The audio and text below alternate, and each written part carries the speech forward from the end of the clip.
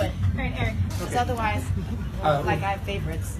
You were sp- speaking about the uh, big moneyed interests. Yeah. Uh, to a large part, they wield their influence in Washington through funding elections. Correct. So, how do you propose we change the campaign finance Yeah. laws so Yeah. that we have a government of the people? Love that question. So in my own campaign, I'm taking a first step. It's only a first step, but I'm not taking any corporate PAC money. I'm not taking any federal lobbyist money,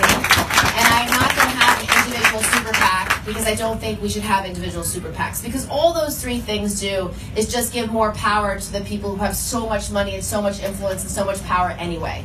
So that's my first step. But I believe in publicly funded elections. And I think if we can elevate this issue and the corruption at the core of everything that makes it, hard for a family to get ahead and provide for their kids, if we if we name it as the greed that it is, as the corruption that it is, people will begin to realize it's the money in politics that's at the root of the of the darkness and corruption.